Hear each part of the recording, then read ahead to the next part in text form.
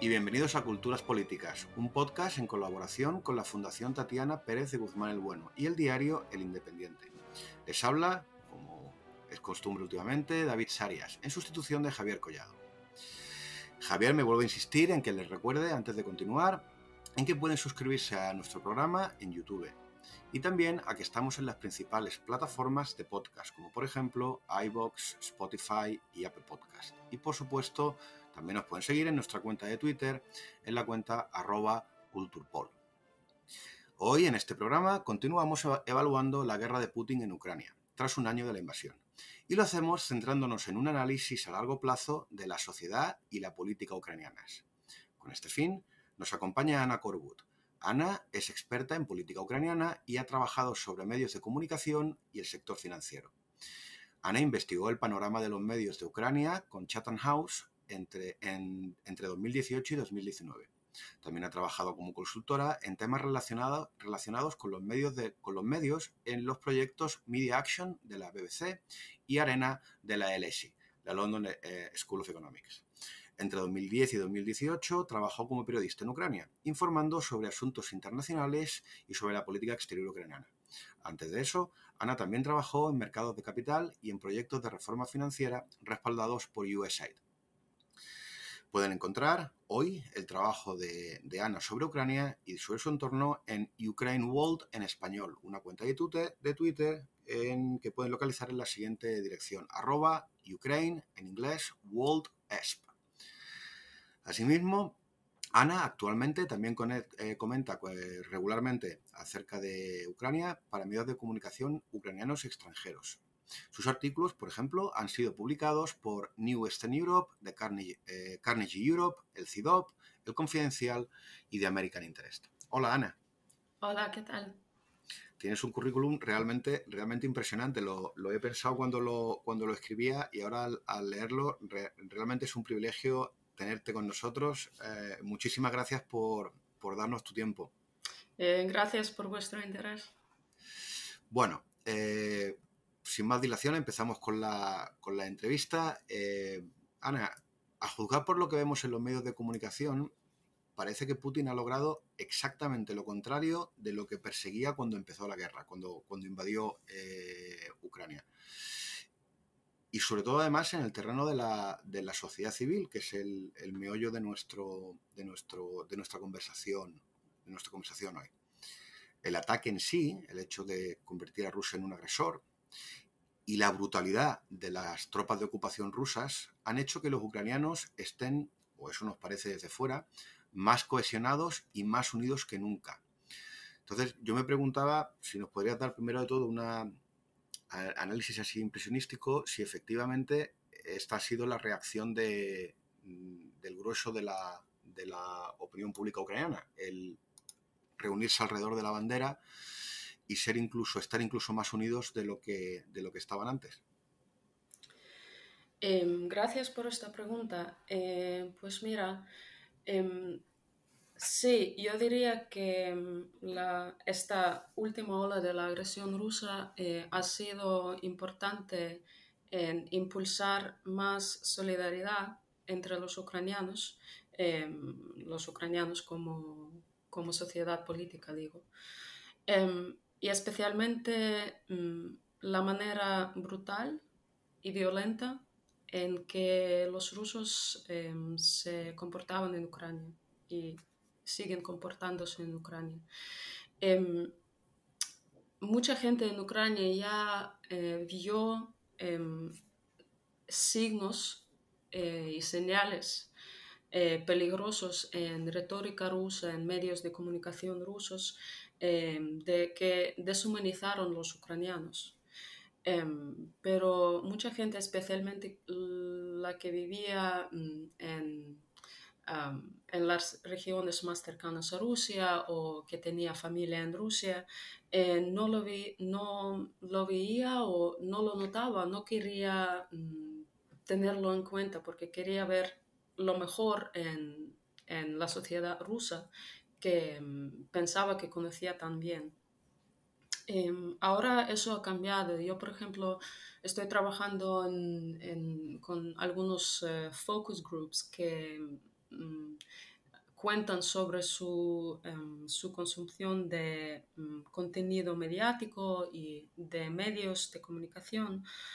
Y eh, una tendencia importante que yo he notado es que mucha gente dice que antes em, estaba escuchando música rusa o cantantes rusos o eh, veía películas rusas o em, veía mm, canales de televisión rusa o especialmente en, ah, en Internet estaba siguiendo muchos vloggers y influencers rusos y ahora se acabó porque quieren cortar, em, cortar eh, esos lazos con, eh, con fuentes rusos por, mm, por, toda esta brutalidad y por toda esta...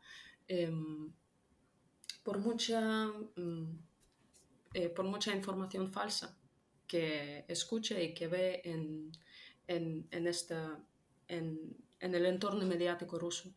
Eh, sí, e, era un impulso importante, pero también eh, yo quería mencionar que durante la historia ucraniana hubo un montón de movimientos, grupos, ideas Em, sobre independencia, autonomía o independencia. Algunos de ellos querían ser junto con Rusia o en federación, en confederación con Rusia, eh, pero siguiendo con sus elementos nacionales y con su autoridad nacional. Otros querían independencia y querían más lazos con eh, Europa por, eh, porque a ellos em, les gustaba más el modo de desarrollo democrático de Europa. Y eso, mm, eso es la historia de los últimos dos, tres siglos eh, para, eh, para Ucrania. Em, en el oeste no se nota tanto, mm, mucha gente en el oeste notó a Ucrania em, a partir de 2014. Y a lo mejor mucha gente cree que eh, los movimientos nacionales o de, independizarse um, empezaron más o menos con o fueron impulsados em, por Rusia. Pero yo diría que existían mucho más antes y el, impulso de 2014 y a partir de 2014 especialmente esta solidaridad y movilización de casi todo el pueblo contra la agresión rusa ahora es el resultado de los procesos que, mm, que ocurrían durante, durante décadas y siglos. Al hilo de esto que nos que acabas de mencionar, eh, Ana, uno de los elementos de principal, em, uno de los, ejes principales de, las, de la propaganda rusa es enfatizar las políticas opresivas del gobierno central de Kiev sobre las, minorías étnicas que no son ucranianas eh, que hay en el país. Además, sabemos que Ucrania es un país bastante diverso. O sea, yo he podido localizar que hay minorías significativas de tártaros, bueno, por supuesto la rusófona, eh, luego de un, magiares, de, de, húngaros y de moldavos. Además, a mí me llamó especialmente la comunidad húngara porque está muy concentrada geográficamente. Eh, y que ellos tienen sus quejas acerca de específicamente el sistema educativo, eh, porque querían que, el húngaro tuviera más presencia como lenguaje oficial y especialmente en el, en el sistema educativo. Entonces, nos has dado una pincelada, pero me gustaría que nos, que nos lo analizaras más en profundidad. ¿Cuáles son las dinámicas entre estos distintos grupos étnicos o endonacionales durante un proceso de construcción nacional que yo entiendo que es real, que el gobierno de Kiev hay una política deliberada de construcción nacional, eh, igual que la tienen los franceses, que la tenemos los españoles, que la o que la tienen los británicos. Eh, entonces, ¿en, qué medida estas quejas son legítimas eh, y en qué medida la guerra puede contribuir a que, se a que se resuelvan de una forma más liberal, más tolerante y menos autoritaria, o al revés, que precisamente por la hipernacionalización que siempre provoca una guerra, eh, ocurre lo contrario, que, se reproduzcan estas dinámicas que vosotros teníais con los rusos, con las propias minorías que hay dentro en, Ucrania. No sé cuál es tu... Te he hecho una pregunta muy grande eh, para que te vayas a hace 300 años y además nos hagas una prognosis. Pero bueno, espero que se me haya entendido. Em, sí, pues es verdad que es este debate sobre minorías en Ucrania, especialmente fuera de Ucrania, pero también dentro, eh, se centraba mucho en la posición de mm, los rusos étnicos y eso no es igual a, la gente que habla ruso, porque son grupos distintos y eh, en, números también. A veces también se centraba más en la minoría húngara y también a veces en los roma. Pero la mapa de minorías en Ucrania, como has dicho, es mucho más amplia. Es que tienes, por ejemplo, polacos que están ayudando enormemente, tienes los eh, judíos que ahora están luchando en, en, el frente contra Rusia y, por ejemplo, el jefe de ejército de ucraniano está sacando fotos en Twitter con el rabino mayor de Ucrania.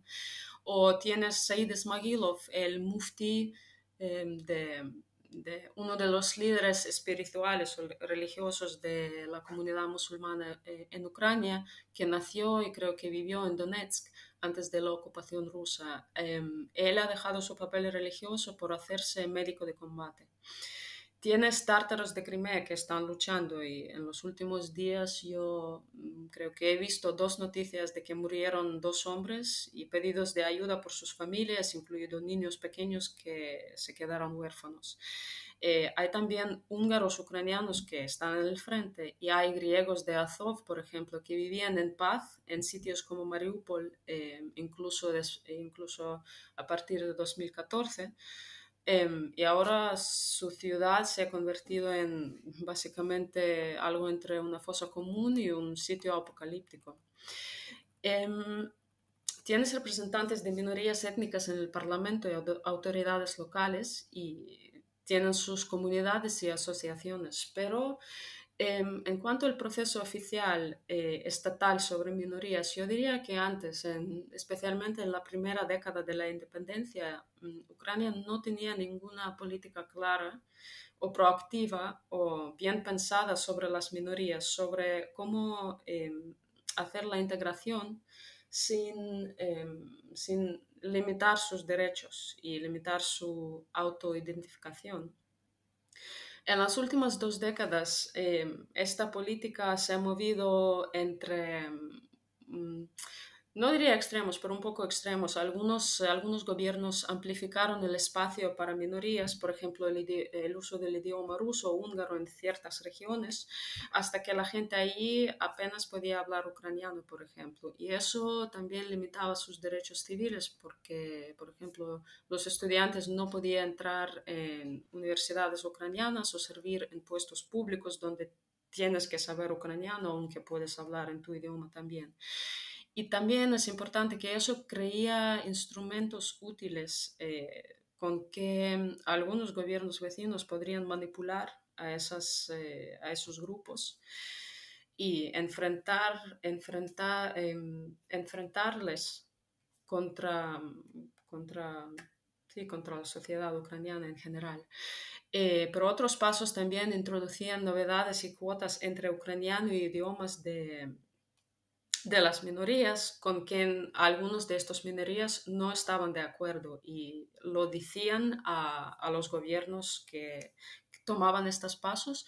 Y yo me acuerdo que especialmente a partir de 2014 del Maidán eh, sí estaban trabajando mucho los gobiernos en eh, yo diría ordenar eh, ordenar y desarrollar diseñar la política lingüística política sobre minorías y política sobre educación. Por eso eh, estamos hablando en eh, la ley sobre el uso de idioma ucraniano y otros, eh, la ley sobre educación y ahora recientemente ha pasado Ucrania em, la ley sobre minorías.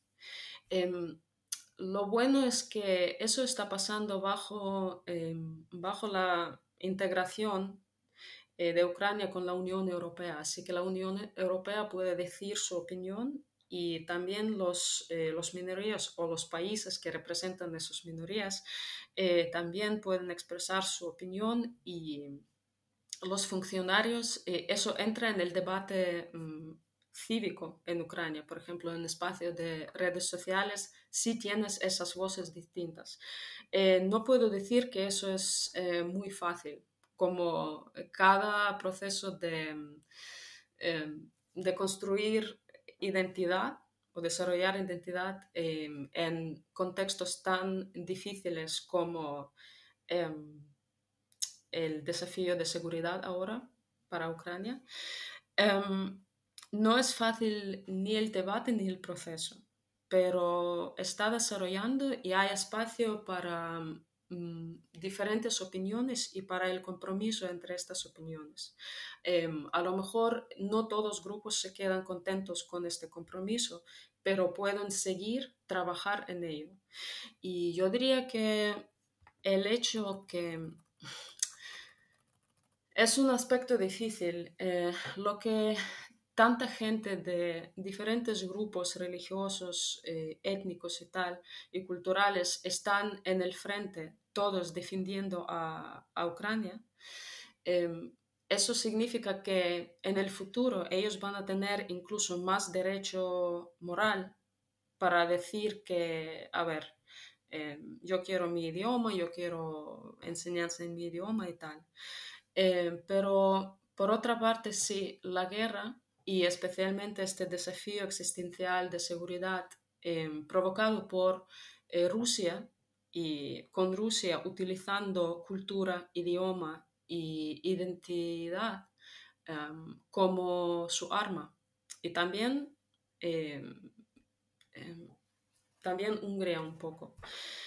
eso no ayuda y la discusión, el debate no será, no será más fácil. habrá más polarización, más opiniones extremas. Pero yo creo que sí habrá también el espacio para, compromiso en, en el, en el futuro y lo que me gusta es que sí, todos los grupos eh, están contribuyendo al esfuerzo de Ucrania a defenderse y por eso ellos eh, tienen y van a tener más legitimidad, legitimidad moral para decir, eh, para hablar y defender sus derechos civiles también. Em, al final, es un poco la cuestión de integración sin asimilación completa para ellos también y para, para la sociedad ucraniana. Em, especialmente, mm, digo otra vez, en periodos tan duros como esta fase de la guerra, mm, em, es o esos distintos grupos étnicos y culturales quieren ser parte de la sociedad política ucraniana y si se ven como parte integral de esta comunidad política, pero manteniendo y cultivando sus características, características propias.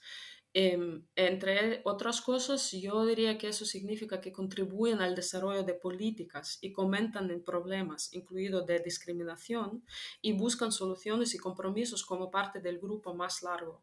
Y eso es lo que estaba pasando todos estos, eh, todos estos años. Eh, habían iniciativas del gobierno, de la mayoría, habían también iniciativas y comentarios y eh, quejas eh, de minorías y entre eso, eso era un, proceso, un proceso eh, difícil, pero estaba moviéndose. Em, o si estos grupos buscan algún tipo de separación, especialmente cuando se convierten en un instrumento de, en las manos de los gobiernos que buscan utilizarlos en, en su discurso político doméstico o para debilitar la estabilidad o seguridad o mapa política de Ucrania como Rusia, por ejemplo. Em, y pues dependiendo de eso, em, cada grupo puede, sí, cada grupo puede, tiene espacio para conseguir más derechos y para lograr, eh, para mm, defender sus derechos. Em, pero, pero sí, depende de qué buscan. Es integración, integración de calidad sin asimilarse totalmente, eh, o si quieren mm, em, ser en oposición a, lo, al proyecto más grande, no sé cómo decirlo, al proyecto más grande político de la nación política.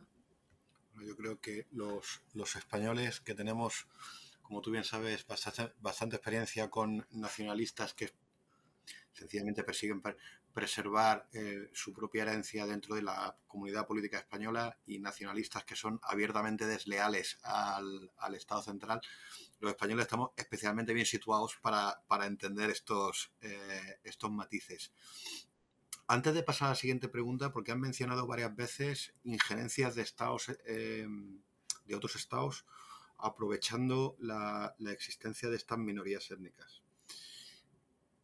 Luego vamos a hablar de Hungría y el contexto internacional, pero ahora quiero, quiero preguntarte específicamente, eh, porque además también he tropezado con esto, pero no, yo lo desconozco, no soy especialista, aunque he tropezado con alusiones a cómo Orbán ha utilizado la, opresión o lo que él llama opresión de la minoría magiar dentro eh, de, Ucrania y cómo la ha utilizado para justificar su ambivalencia ante la invasión y también dentro de, Ucrania, para, perdón, dentro de, Hungría para sostener su propio lenguaje hipernacionalista. Entonces, como lo han mencionado varias veces, era simplemente por aclarar eh, y darte la oportunidad de que, de que elabores desde el punto de vista, insisto, luego hablamos de las relaciones internacionales, pero desde el punto de vista interno, ¿tú percibes que el gobierno de, Hungría es que es una ridículo decir esto en Europa en el siglo XX, pero bueno, eh, que el gobierno de Hungría tenga aspiraciones territoriales eh, o, tenga aspiraciones de, absorber, porque la minoría húngara está muy concentrada. Eh, si esto puede ser un elemento, porque esto es un elemento de la, política de los años 20 o de la política del siglo XIX. O sea, para el oyente español, esto es una cosa inaudita eh, en Europa. Entonces, no, sé si, la cosa es tan drástica como yo lo estoy pintando ahora, o en realidad simplemente son argumentos retóricos para, en fin, que no está Orbán pensando en anexionarse una provincia ucraniana. Eh, o, sí, no sé, eh, cuenta, cuéntanos. Eh, pues ya que no vivo en la cabeza de Orban, em, sería difícil y vivo en el siglo XXI, pues a mí me parecería raro pensar que, que, él de verdad cree en algo parecido. Eh, lo, que yo lo que yo puedo decir es que sí, hay regiones con la población de húngaros o húngaros ucranianos en el oeste de Ucrania eh, en, algunos, eh, en algunas ciudades y pueblos, eh, antes casi no veías inscripciones en ucraniano, por ejemplo, solo en húngaro. Y en, en, por ejemplo, en Uzhhorod, que es la capital de la provincia, donde están estas regiones, ves tanto ucraniano como húngaro también en, en inscripciones y tal. ves restaurantes húngaros y sí, cosas, una mezcla así curiosa. Em, hay gente ahí que em, sí se siente húngaro, em, alguna gente por eh, razones pragmáticas, porque Hungría es parte de la Unión Europea, ofrece más oportunidades a lo mejor de, de trabajo en Hungría o fuera de Hungría en la Unión Europea y si consigues el pasaporte o el pasaporte doble de Hungría y de Ucrania, pues tienes oportunidades para moverte sin problema entre fronteras y tal. Eh, pues, eh, pero para otra gente sí, es una cuestión de autoidentificación. Em, hubo, em, se han quejado alguna gente de, la comunidad húngara en Ucrania sobre, sobre las leyes de, sobre em, idioma y el uso del idioma ucraniano y educación, diciendo que les deja mm, menos espacio o les deja sin espacio para eh, obtener educación en, en, su lengua materna. Eh, por una parte, mm, pues no es, eh, sí se ha disminuido el espacio autorizado por el Estado para estudiar en la lengua húngara o en cualquier otra, otra lengua. Pero también em, no es verdad que hay restricciones que no te dejan estudiar en tu idioma, porque tú puedes, puedes elegir y construir el proceso educativo para estudiar en dos idiomas y para aprender dos idiomas, para que te puedes, eh, puedas mover eh, y crecer profesionalmente, por ejemplo, en eh, toda Ucrania, no solo en tu región o no solo en, Hungría. Eso en cuanto a la, la comunidad húngara. Em, yo creo que mm, estaban en algún tipo de diálogo con los oficiales que trabajaban en, en las leyes Em, y estaban buscando algunos compromisos, pero Mm, pero al final creo que también em, la política húngara nacional es em, no tanto buscar compromisos eh, y no tanto entender el proceso de, del el proceso que está ocurriendo en Ucrania de construir una, pues una sociedad política, em, sino es eh, utilizar estos elementos eh, en su discurso político doméstico y para poner presión al gobierno ucraniano. Eh, pues sí, es, es, la mezcla de todos estos factores. Eh, pues yo creo que mm, algunos, algunas quejas de, de, la comunidad húngara sí podría, el gobierno podría tener, em, tener en cuenta y, y trabajar en em, mejorar las políticas y las leyes que existen para que mm, otras, las minorías étnicas, minorías culturales en Ucrania se sientan más inclu, incluidas o respetadas o sí, se sienten más cómodas. Eh, pero tampoco, mmm, tampoco puede... Mmm, es que hay un proceso de construir, hay un proceso de, mm, de construir um, de ordenar la política que no existía antes. Y ya que, es, eh, ya que no es fácil, um, no puedes solo centrarte en, en, por ejemplo, la queja de un grupo y luego... Fíjate, le da, le da esto otra dimensión a la, en la que yo, por ejemplo, que no siendo especialista, a las solicitudes ucranianas de mayor proximidad y de integración dentro del esquema de la, de la Unión Europea, porque pensaba en lo que tú hablabas acerca de la minoría húngara y yo estaba pensando en el caso, en el caso irlandés, ¿no? de una comunidad que está partida entre una comunidad nacional que está partida entre dos, entre dos estados distintos y que cuando resuelven el problema es simplemente cuando los dos estados se integran dentro de la misma institución superior que es la Unión Europea y desaparecen las fronteras. Claro, el, el meollo de, los, de las como se dice en castellano, de las grievances, de las quejas, ¿no? En el momento que estás en la Unión Europea, con la protección a, las libertades liberales que tiene la Unión y con la desaparición de las fronteras políticas, la cuestión nacional se neutraliza. Entonces, para un país como, como es Ucrania, con la diversidad interna que tiene, el, vamos, lo hago como afirmación barra pregunta, que igual te estoy diciendo un disparate, pero la, una mayor integración, eh, un ablandamiento de la frontera o incluso una integración total dentro de la Unión Europea, lo que, lo que va, a lo que va a contribuir es a una Ucrania más estable, más libre y por tanto a una Europa, desde luego una Europa del Este, más estable y más libre. Eh, en el que quizás los únicos perjudicados son los rusos, eh, porque tanto los europeos como los ucranianos, desde luego, no sé si lo ves tú también así. Hmm. Em, sí, es, es, es, una buena comparación. Es que mm, yo no sé si es una, mm, una cosa de futuro próximo o no muy próximo, pero sí puede pasar y a lo mejor mejorar cosas. Eh, la otra, em, el otro elemento importante de este desarrollo, de este proceso, es em, el deseo de gobiernos nacionales no utilizar identidad étnica como instrumento en su política. Eso también es importante.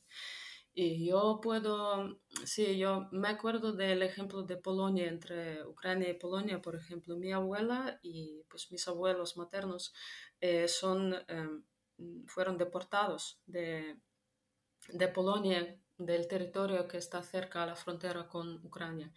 Y mi abuela eh, aunque eh, sabía hablar polaco, nunca me enseñaba a hablar polaco porque no le gustaba polaco y no, no le gustaba la política polaca de aquel tiempo que aplicaban a, a su familia. Eh, pero fíjate ahora, ahora los polacos están ayudando a Ucrania, a los ucranianos, pero un montón.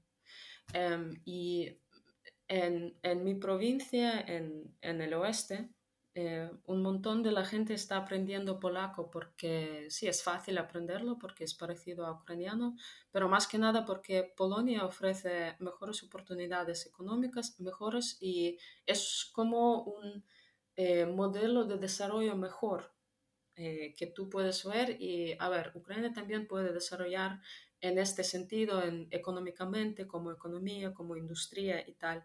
Y ya no existen estos em, estereotipos y esta negatividad entre, em, entre, entre los dos países, las dos sociedades, em, y no hay, no hay problema lingüístico, no hay problema de fronteras, porque eh, al lado ucraniano ni al lado polaco no, hay, no, es, no hay estas ambiciones y no hay retórica Em, de, que pues tú quieres controlar parte del, otro país o quieres utilizar eh, la identidad o lealidad a parte de la población de la región em, por tus intereses.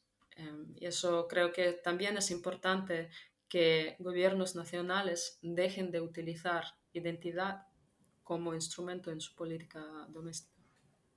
Y solo por, recordárselo a la, audiencia, por, contextualizar un poco lo que tú lo que tocas de comentar y tu historia y tu historia familiar, que es una historia familiar que es bastante común y frecuente en, toda Europa del Este. Eh, recordemos que Lviv, que, creo que tú procedes de, la región de, de Lviv, ¿verdad? que hasta 1914 es parte de, está vinculada con el imperio, con el imperio austrohúngaro, es una ciudad completamente multinacional a la que se refieren como el París de, la Europa del Este y entre 1918 y 1945 Lviv es polaca, luego es ucraniana, luego es soviética, luego los polacos la vuelven a, la vuelven a conquistar porque la, la, voladura del imperio austrohúngaro en el año 14 y, la, y el colapso del imperio de los zares básicamente convierte todo lo que es Europa Oriental en un free for all, continuas guerras civiles, disputas territoriales y étnicas basadas justamente en la construcción nacional a las bravas. Mm. Eh, esto no te lo digo a ti, eso digo a la, audiencia, porque me ha, llamado la atención tu, trayectoria personal. El hecho de que tus abuelos fueran polacos, pero son deportados, no sé si por Stalin en alguna de sus purgas o por los propios polacos. Eh, que la historia de Europa, de Europa del Este realmente es una historia de limpiezas étnicas más o menos continuas durante casi 30 o 40 años. Eh, y contextualizar que quizá le estamos pidiendo al gobierno de Ucraniana, al gobierno ucraniano actual, que tenga un comportamiento angelical en un contexto histórico muy complicado, eh, de, odios heredados eh, y, de, y, y, de, luchas que todavía están muy frescas para el, para la población viva, que tú no lo has vivido, pero tus abuelos sí, mm. eh, que es una cosa relativa o bastante eh, reciente. Pasando a, os por seguir, porque luego volveremos a los polacos, a los ucranianos. Em, sí, em, sí, yo quería añadir aquí que yo creo que sí es importante hablar de problemas y yo aprecio que grupos étnicos o cualquier, cualquier grupo en Ucrania eh, habla de sus problemas, porque eso, eh, aunque no produce un debate fácil o, eh, que, que, me guste, porque puede polarizar y puede crear opiniones radicales, pero opiniones muy, muy de, de, extremas.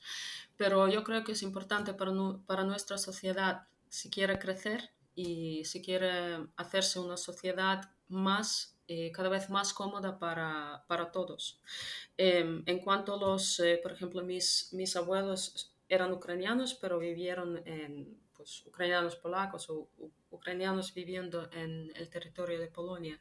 Eh, pero, por ejemplo, mi otra abuela que luchó contra los nazis, em, ella no tenía muy buena percepción de, de los alemanes, pero yo sí, porque yo veo como ellos, como los alemanes, han procesado su su papel histórico, aunque a lo mejor no con Ucrania no tanto, pero han procesado y han trabajado en su culpa histórica.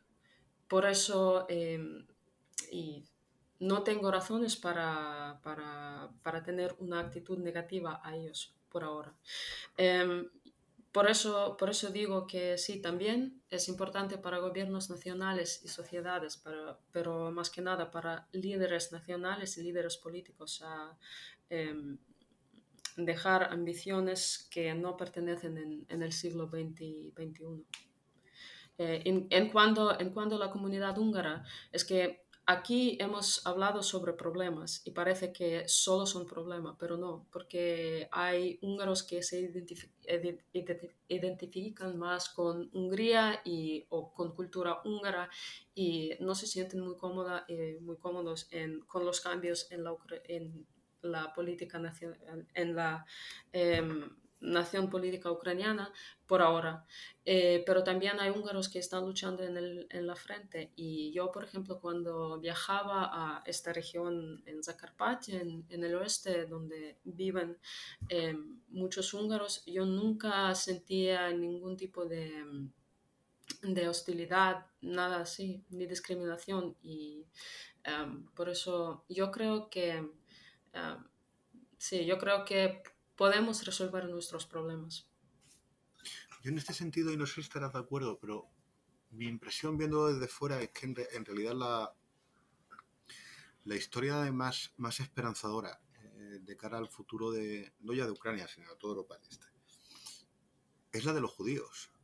Eh, el hecho de que Zelensky sea, sea judío. Eh, o sea, si nos vamos hace 60 o 70 años durante la Segunda Guerra Mundial, en las repúblicas bálticas en Ucrania, en Polonia, el, antisemitismo, al actual gobierno polaco no le gusta reconocerlo, pero el, el, antisemitismo era profundo y muy extendido.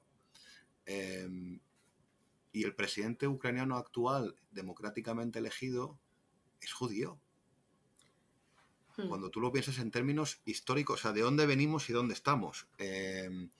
Em, las, alusiones que has hecho tú al gran rabino, quiero creer, que se ha incorporado a la, defensa de, eh, de, Ucrania, es decir, demostrar un compromiso con, la nación en la que, a la que pertenecen y a la que, eh, y en la que viven, que yo creo que de todas estas historias de, integración, de superación de los de la etnicidad, ¿no? Como eje fundamental de la comunidad política, no sé si estás de acuerdo en que la, la narrativa de los judíos es quizá la narrativa más más trágica y al, mismo tiempo la más eh, optimista, eh, si vemos la, la situación de, Ucrania. No sé.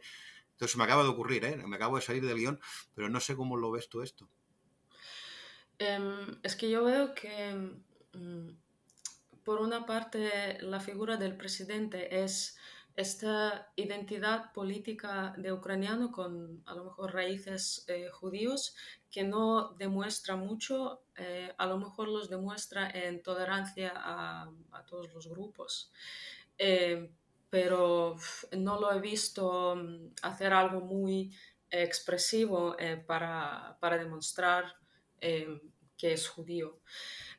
pero sí, se, se lo eligieron mm, de presidente y más eh, em, es que hay o hubo muchos oligarcas judíos en Ucrania, em, hay eh, partes de cultura, hay festivales judíos de, de música judía. Em, son, son distintos elementos, también es un proceso de reflexión y de eh, porque en la Unión Soviética, por ejemplo, no se hablaba mucho de antisemitismo, de, del holocausto em, y del papel de nuestras sociedades propias en aquel tiempo en estas, en estas tragedias. Eh, y luego todo toda la reflexión teníamos que hacer durante los años de independencia. Y claro, como en cada sociedad tan grande y tan diversa, con tantas experiencias diversas, tienes eh, distintas opiniones eh, sobre y, a veces mucha gente no quiere reconocer la responsabilidad em, o no quiere que les echen culpa colectiva. Pero eh, creo que es em, útil para nosotros, ha sido útil incluso este debate también difícil ha sido útil para reflexionar y tenemos que seguir reflexionando y, y mejorando, sí, mejorando nuestra, em, Eh, integración, hay otra palabra, pero no me acuerdo ahora. Em, con, em, también veo muchos judíos eh, luchando que sí son, puedes ver que es judío por sus barbas y tal, eh, luchando en el frente y se identifican como judíos pero también como ucranianos y eso es sobre que estoy intentando contar, es, eso es el desarrollo de la construcción de la nación política, donde cada uno tiene su parte, está integrado, pero también, pero tampoco asimilado.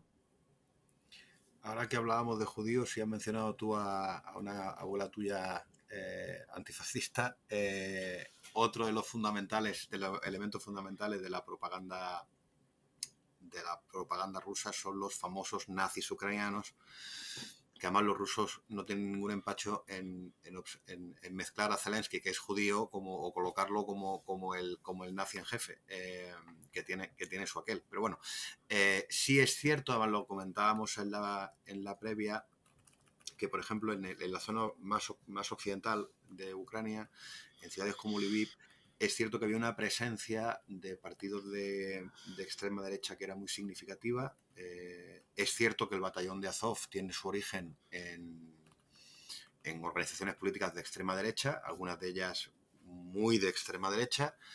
Eh, pero bueno, ahora que tenemos una, politóloga, una experta ucraniana, eh, yo creo que es una magnífica oportunidad para que nos cuentes cuáles son las dinámicas, porque yo recuerdo lo primero que pensé, bueno, en España también hay nazis, eh, y en Francia, pues te vas al, antiguo Frente Nacional de Le Pen, pues, pues también había nazis, eh, y esto no convierte al gobierno francés en nazi. Eh, entonces, no sé si la situación es, parecida a, bueno, tienes estos grupúsculos que, bueno, pues sí, pues muy bien, que tienen presencia específicamente en la, pues en la zona de Lviv, no me acuerdo cómo se llama el Oblast, porque no es Oblast de Lviv, ¿verdad? Tiene, no, Lviv, es eh, la capital de, la oblast, que es provincia de Lviv. Sí. Eh, entonces, bueno, cuéntanos un poco cuáles son las dinámicas de, estos grupos de, extrema derecha, cuál es la importancia real que tienen mm. dentro de la. y cuál es la importancia real que tienen dentro de la, de la, vida política eh, ucraniana.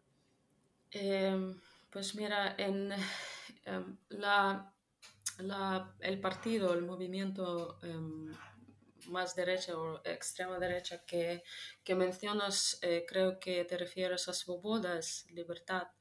Em, era, pues es un partido y tenía pues su em, mayor influencia, yo diría, en la escena política ucraniana, en pues eh, durante el gobierno de Viktor Yanukovych, que el presidente que se huyó de Ucrania durante el Maidán en 2013, al finales de 2013, al principio de 2014. Ellos em, eran, em, pues mucha gente lo veían, este partido, em, como un, un movimiento de más eficaz contra todo lo que estaba haciendo el gobierno en aquel tiempo, eh, manipulando y, utilizando los instrumentos de, la ley, de instituciones estatales para sus intereses.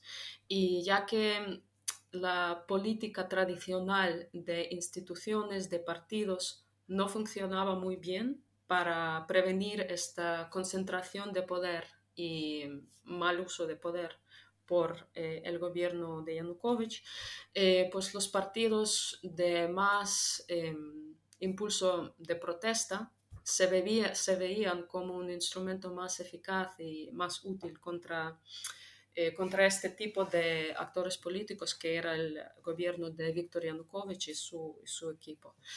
Pero a partir de ahí em, habían más movimientos derechos o ultraderechos. Por ejemplo, este Azov que mencionas o el sector derecho, que mm, em, aparecieron más, eh, más visible em, en, en 2014, 2015, especialmente cuando empezó la invasión rusa en 2014.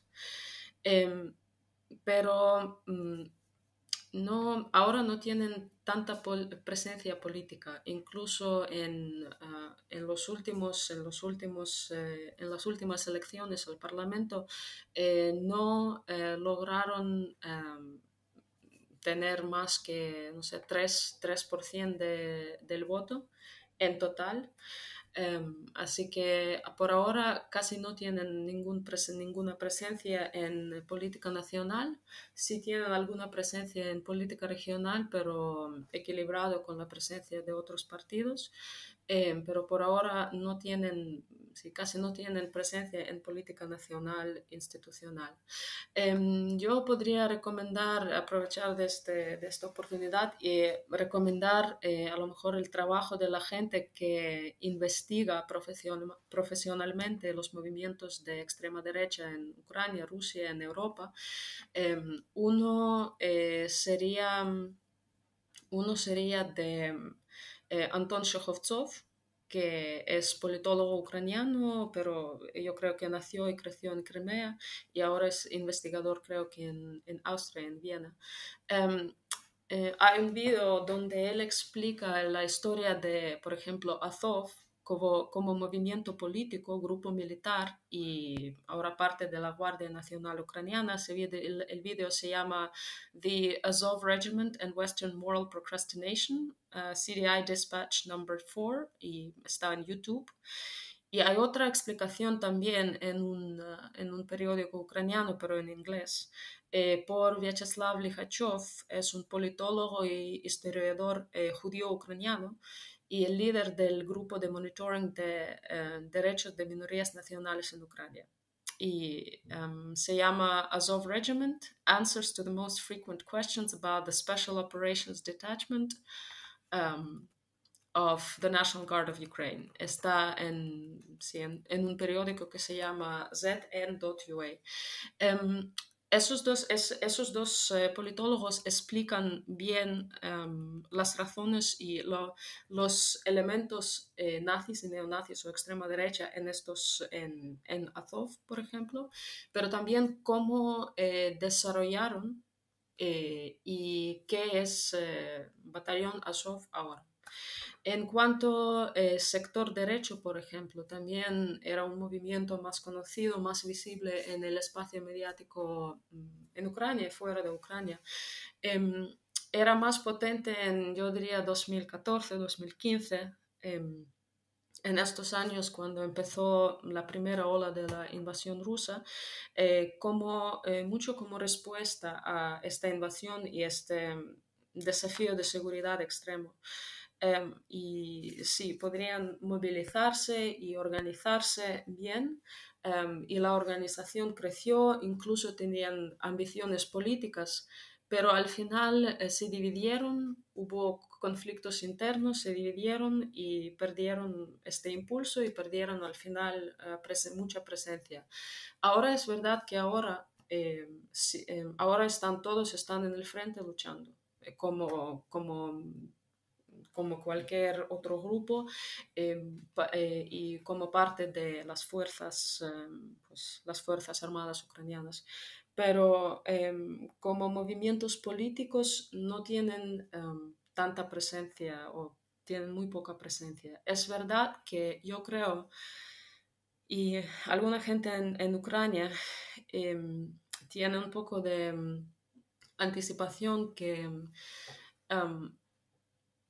puede amplificar su presencia o la presencia de argumentos que utilizan argumentos más conservativos en, eh, en el espacio mediático, especialmente en debates en redes sociales, eh, debates públicos, em, porque, claro, su contribución a la guerra, a la lucha de defensa es importante y pues eh, sus voces sí van a, van a em, eso puede amplificar sus voces en también el debate, el discurso social, discurso, en debate social. Pero por ahora, mm, por ahora no es tan significativo. Ahora que has hablado del debate social, el de ya has empezado a contarnos un poco acerca de la vida política ucraniana, los puntos de referencia que tenemos desde, desde Occidente cuando hablamos de la evolución de Ucrania, porque es cuando aparecisteis, digamos, en los medios de comunicación, fue con la Revolución Naranja del año 3-4 y el Euromaidán en el año 13-14. Y todos tenemos en la cabeza la idea esta de, bueno, son dos momentos de reacción en el que la opinión pública ucraniana se parte por la mitad. Una parte rusófona, que entendemos, porque claro, desde fuera lo vemos todo en blanco y negro y todo muy simplificado, ¿verdad? Entonces los, los rusófonos que se quieren aproximar o mantener unos lazos muy fuertes con Rusia y los demás. Eh, entonces yo te preguntaría, porque te pediría que le hagas a nuestra, a nuestra audiencia, y bueno, y a mí, eh, un, mapa político de qué, qué es lo que pasa, porque yo tengo la intuición de que esta historia tan simple, como todas las historias simples, acaban siendo mentiras, eh, porque simplificas tanto que no cuentas la verdad. Entonces, que nos hagamos una cosa muy rápida, porque además llevamos ya 50 minutos y no te quiero robar más tiempo. bueno, sí te voy a robar más tiempo, pero el menos posible. ¿Qué es lo que ocurre con la Revolución Naranja y luego en el Euromaidan? ¿Cuáles son los puntos de conexión entre estos dos momentos de, revuelta popular? Eh, eh, ¿Y qué nos revelan acerca de la, pues de la sociedad civil eh, ucraniana? Em, pues yo diría ah, por cierto, una cosa que tú no me lo has dicho, pero sí me lo han chivado por otra parte, corrígeme si es mentira que tú el Euromaidan te lo conoces especialmente bien porque tú estabas dentro, eh, trabajando en Ucrania y en el, y en el movimiento. advierto a la audiencia que tenemos a, un testigo de, primera línea que en castellano es un absoluto privilegio. Eh, perdona, te he interrumpido, eh, Ana. No, es que yo em, era en, en, el, en la Revolución Naranja como estudiante eh, y luego en, en, el Maidán también ya como periodista, pero también como ciudadana. Em, yo diría que los impulsos de em, las dos revoluciones eh, eran em, el deseo del cambio, eh, sí, el deseo del cambio y también la cansancia de, de la corrupción, corrupción política y corrupción económica, que empeoraba la vida de todo el país. Em, y también em, el deseo de eh, dignidad es un, es un término muy abstracto para la, gente que, para la gente que vive en democracias, pero hay una película rusa que se llama Leviafán eh, por el director ruso Andrei Zvyagintsev. Y la película muestra la relación entre entre una familia normal y un hombre que es protagonista, un, no sé, un ciudadano de un pueblo en Siberia o donde sea, pero un ciudadano normal, y entre el sistema, entre el sistema que tiene poder, de poder, de poco poder, em, de, no sé, un policía o algo así en, en el nivel local, hasta poder más importante. Eh, cuando ves esta, no, no voy a hacer eh, spoilers, pero cuando ves esta película puedes sentir, eh, tener un poco de experiencia eh, que es vivir sin dignidad como ciudadano y sin instrumentos para defender esta dignidad y para mm, hacer que el Estado y los instrumentos del Estado pagados por tus impuestos hacen su trabajo para defender la ley, defender tus derechos y sí, defender tus derechos, no atacarte y no eh, abusar todo el poder y todo lo que tienen para servir solo los intereses de un grupo localizado, digamos. Em, estos eran los impulsos de las dos revoluciones y, em, mm, la propaganda rusa lo presentó como una división importante, como un grupo contra otro, pero al final incluso la gente que, la gente que em, no apoyaba al Maidán o no apoyaba a la Revolución Naranja, ellos también, cuando, eh, cuando los preguntabas em, cuáles son, cuáles son los problemas del Estado. Ellas también, ellos también eh, te dirían que corrupción, que no hay derechos o no hay justicia y tal. Pues eh, los problemas eran parecidos. Es que sí em, hubo factores que, mm, que mm, que podrían influir a distintas opiniones sobre cómo, cómo solucionar esos problemas. Y, por ejemplo, una parte podría, podría ver la Unión Europea y democracia de la Unión Europea como un instrumento para solucionarlos. Otra gente podría ver eh, una mano fuerte como Putin o Lukashenko para solucionarlos. Pero al final los problemas eran los mismos. Eh, y ahora si ves em, sobre esta división o retórica de, de la división, si ves eh, el movimiento de los refugiados y dónde se van del oeste, del, del, este y del sur, las zonas más afectadas, las zonas rusófonas y más afectadas por la agresión rusa, se van a la Unión Europea, al oeste del país, al centro, al oeste del país, de Ucrania, y a la Unión Europea, a, no sé, países bálticos, a Polonia y eh, al a Estados Unidos, a Canadá. Em, poca gente se va a Rusia. ¿Por qué? Porque por toda la retórica, por toda la retórica de, la división y tal, eh, la gente quiere una vida mejor una vida, sí, mejor económicamente, pero también más segura eh, en cuanto sus derechos eh, como ciudadanos, en cómo les trata el Estado como ciudadanos. Es, es, es muy simple, no, eso es muy simple. Eh, pero bajo con toda, con toda esta propaganda rusa es, es, un poco difícil entenderlo y además eh, para mucha gente en el oeste eso no es un problema que ellos tienen experiencia mm, física, eh, de que ellos tienen experiencia física. los ucranianos y también ahora los rusos y bielorrusos sí tienen mucha experiencia física y, y, psicológica de esos problemas y em, intentando, pues, estaban intentando eh, solucionarlos.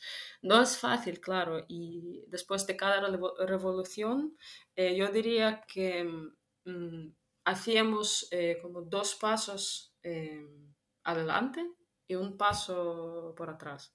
No sé si es sí, un paso por atrás. Pues el progreso es, es difícil porque tienes que luchar eh, después de la revolución tienes que construir el sistema con resistencia de este sistema. Es, es, muy, es muy difícil y especialmente con desafíos de seguridad y con, con conflicto.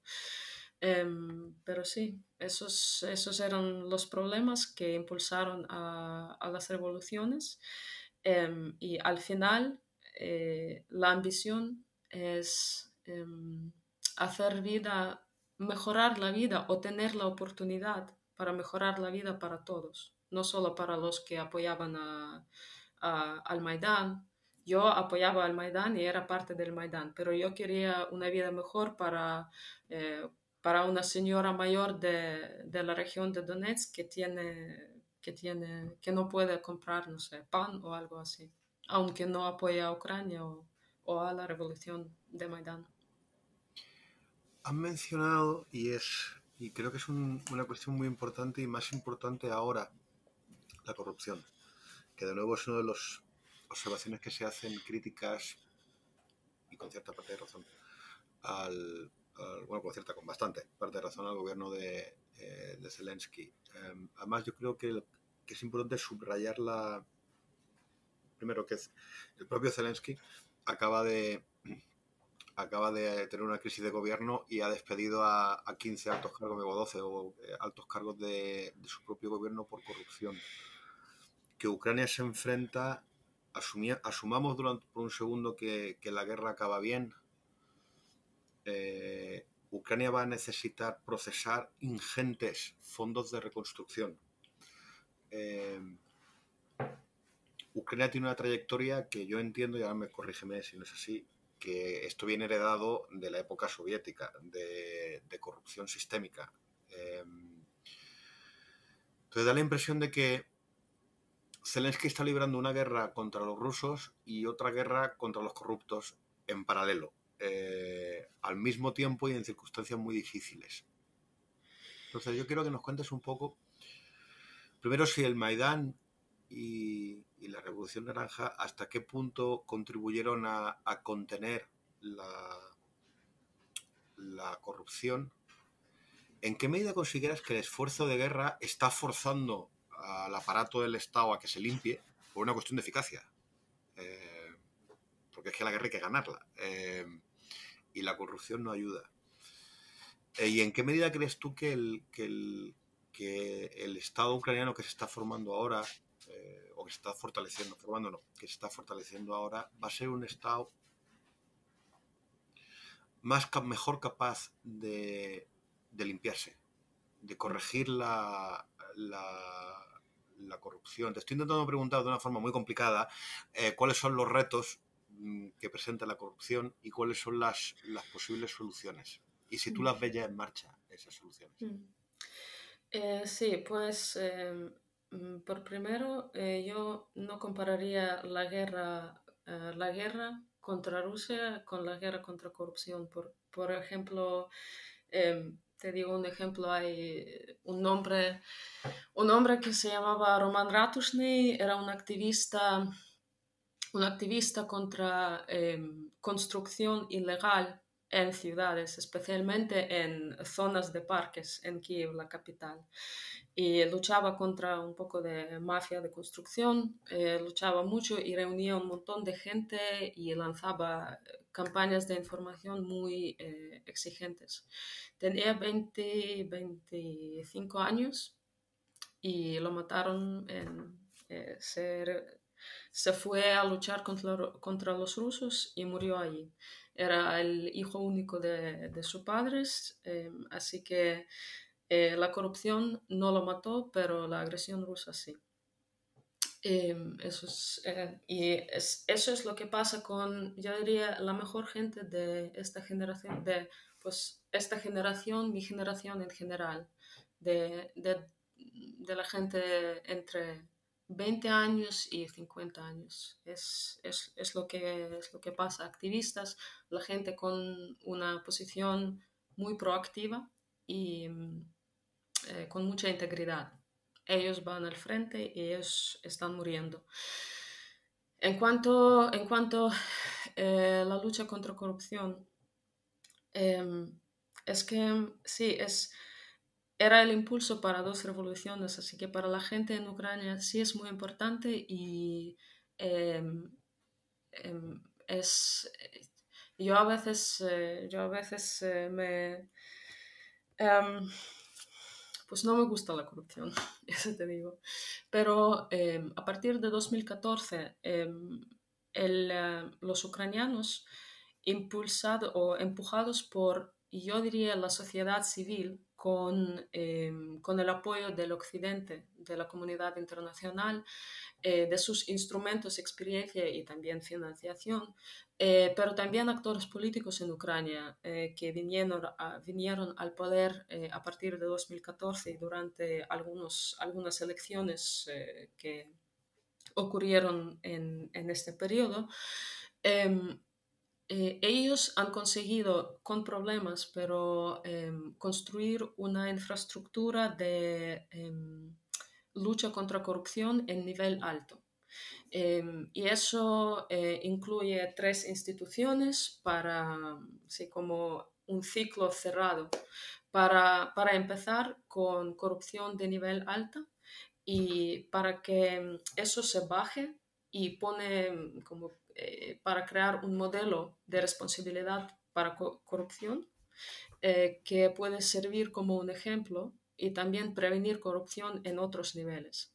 Em, por eso, por ejemplo, em, la combinación de em, la respuesta de la sociedad muy negativa a corrupción, eh, el trabajo de esta infraestructura, de estos, estas nuevas más o menos instituciones que están luchando contra corrupción en nivel alto.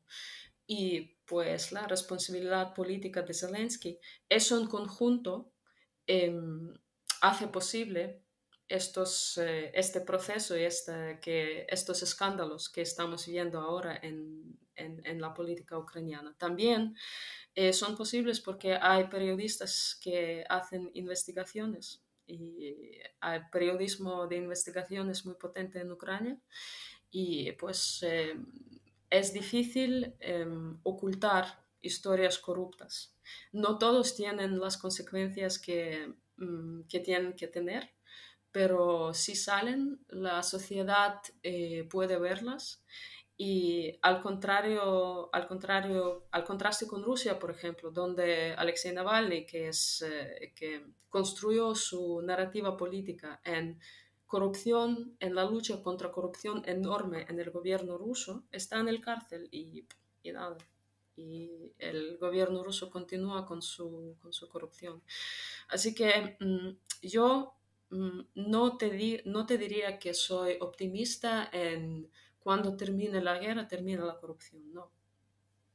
Eh, pero eh, yo te diría que hay agentes y hay agentes en Ucrania, como la sociedad civil, que um, demanda responsabilidad para corrupción y demanda cambios. Hay sociedad que también quiere cambios.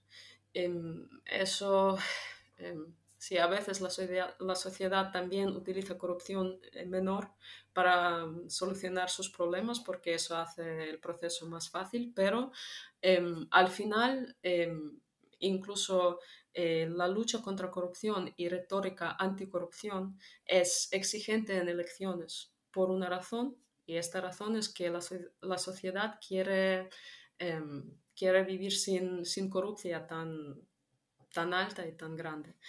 Em, pues tener em, y al final tener instrumentos que, han, que hemos construido en Ucrania ya, que tenemos que sí reformar para, para que funcionen mejor y mantener este impulso y estos instrumentos, desarrollarlos en el futuro, em, será un proceso, lento, un proceso lento y difícil. No te, no te digo que será fácil. Y a veces, em, a veces creo que mm, será una mezcla de éxitos y de, mm, y de problemas y de fallos. Em, pero em, sí, sigue, sigue, sigue siendo. Has mencionado la, la, corrupción y cómo la opinión pública ucraniana desata el Maidán eh, y la Revolución Naranja no tanto como una lucha entre, entre rusófonos y, y, y, no rusófonos o el resto ucranianos, como, una lucha de, entre abajo, de abajo arriba, de la sociedad civil contra, contra, contra la corrupción. Entonces yo quería, quería cerrar la, la entrevista, porque el programa de hoy nos ha salido más una entrevista que, una charla, porque claro, yo no sé sobre Ucrania. Em, quería cerrar preguntándote sobre las presuntas injerencias extranjeras en, Ucrania. Hay una narrativa que interpreta la, la, reacción ucraniana y la guerra como, bueno, son las potencias occidentales, Estados Unidos, Soros, que están utilizando a los ucranianos como carne de cañón al servicio de sus intereses para, para agredir a los rusos. Esta es la, esta la narrativa. Mm. Eh, que además y además en esa narrativa la guerra es solo una continuación de lo que ocurrió en, el, en la Revolución Naranja y en el, y en el Euromaidán. Claro, esto no tiene nada que ver con lo que tú nos estás contando. Eh, y yo quería preguntarte acerca de cómo percibes tú, que eres ucraniana, cómo percibe la opinión pública ucraniana y también cuál es tu punto de vista como analista, como politóloga, acerca del papel de agentes externos dentro de, Ucrania. Es decir, que, Soros tiene una fundación y esa fundación opera en Ucrania, es evidente. Eh, o que la Unión Europea ha enviado una cantidad ingente de fondos a, Ucrania, pues, pues, también es evidente. Eh, no vamos a negar la, que sería absurdo. Pero ¿cuál es la naturaleza de estas, de estas dinámicas? Porque es evidente, no te venía a preguntar, que tú no consideras que, tú seas, o tus, o tus familiares o tus amigos en Ucrania sean carne de cañón de nadie. Eh, a mí me parece que vosotros consideráis que estáis peleando por, y luchando y muriendo por vuestra libertad y por vuestra dignidad, como has, como has, eh, como has dicho eh, repetidamente. Pero partiendo de ahí, ¿Cuál es el papel que han jugado las organizaciones internacionales a la hora de ayudar a que en Ucrania se desarrolle una, una sociedad civil? un, añadido más. Creo que tú te lo sabes, pero nuestro, simplemente por ayudar a nuestra audiencia. Ucrania procede del mundo soviético. Es decir, un mundo en el que la sociedad civil no existe, o, existe, o es muy pequeña, eh, muy pequeñita, porque son sociedades muy autoritarias, en el que cosas que aquí consideramos normales, pues periodismo de investigación, como has mencionado tú, pues no existían, por la propia naturaleza del régimen soviético. Eh, la teoría es que la, acción de Soros, la acción de la Unión Europea, la acción de los norteamericanos, tú has trabajado con USAID, era precisamente ayudar a construir esa sociedad civil que es imprescindible para una sociedad libre y democrática. Esta sería la leyenda rosa, eh, ¿no? La, bonita. Eh, entonces, tú que lo conoces muy bien, que has trabajado con ellos, eh, cuéntanos tu versión acerca de cuál es el papel que han jugado pues, estos agentes internacionales, que es verdad que han operado dentro de, Ucrania? Eh, pues yo empezaría em, con este en decir que todo eso es eh, la voluntad em, de em, organizaciones internacionales o SOROS eh, o OTAN o tal, es de negar a los ucranianos su agencia que han demostrado muchas veces y de negar a los ucranianos la oportunidad de buscar eh, más justicia social. Porque sí, a mucha gente en Ucrania no le gusta cómo funciona su sistema político. Y si a la gente que, especialmente que vive en países occidentales con sistemas eh, a lo mejor más avanzados o economías más avanzados, le dicen a ucranianos, pues no, tú no puedes, eh, tú no puedes buscar eh, de mejorar tu vida o tu posición porque es, lo que te dicen de, de, la Unión Europea o de OTAN. Es, eh, a mí me parece raro porque es, lo que es, muy normal buscar una vida mejor. Pues eso. Em, el otro... Un segundo, un segundo, Ana, es que creo que no te, no te he entendido bien a lo que te refieres es que la leyenda negra a la que yo hacía ilusión antes, lo que son los que defienden esa, los que culpan a Soros o, que, o a la Unión Europea, son ellos los que están negando la agencia de la sociedad civil ucraniana y su búsqueda por la... A, esto te, a esto te referías, ¿vale? Eh, y, ya por añadir, esta narrativa, efectivamente, que es muy dada no solo a los rusos, sino un sector importante de la, de la opinión publicada, no sé si de la opinión pública, pero desde luego la opinión publicada en Europa, tanto a la derecha como a la izquierda, en ambos extremos, eh, tienes este tipo de, narrativas. Perdón la interrupción, pero es que no se te había entendido o yo no te había entendido muy bien ahí. Eh, continúa. Sí, no es verdad. Em, y luego el papel de estas organizaciones em, internacionales, em, pues es más que nada es apoyar eh, el impulso que existe en la sociedad ya y esta búsqueda de mejorar o cambiar las reglas y crear las reglas del juego que haga la vida más justa para, em, para la mayoría o para, para muchos, em, pues dar a estos grupos o a esta gente eh, o movimientos, darles instrumentos, enseñarles qué ha funcionado en otros países, otros sistemas que no ha funcionado y a lo mejor apoyarlos con, con, financiación, por ejemplo, pagarles el sueldo.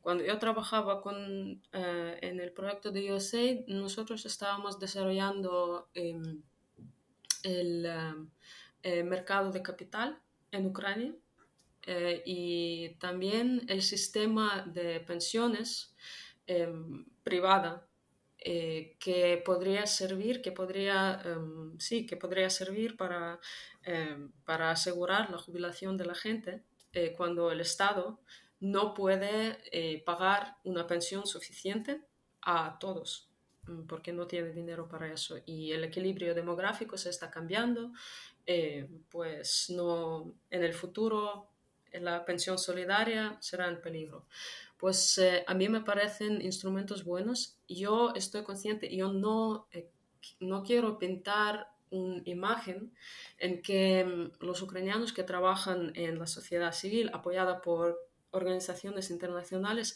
piensan que todo en el oeste está bien.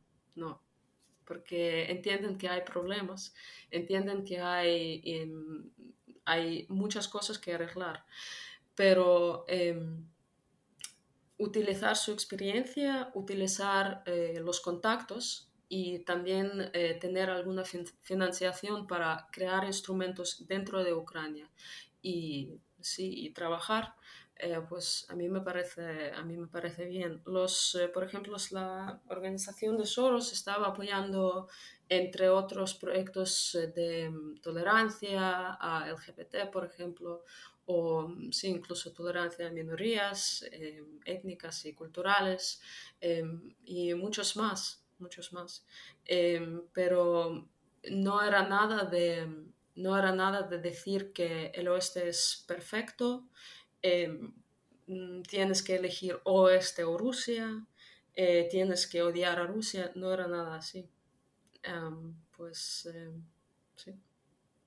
Bueno, llevamos una hora y cuarto, ya no, no, puedo, no, puedo, no puedo seguir abusando de tu, tiempo, eh, así que aunque nos dejamos algunas cosas en el tintero, no pasa nada porque te volveremos a llamar eh, y, si, si te dejas, pues, pues, pues, volverás a venir y, no, y terminamos con esas cositas que nos hemos dejado, eh, que las hemos comentado en la previa, pero que no, no nos da tiempo.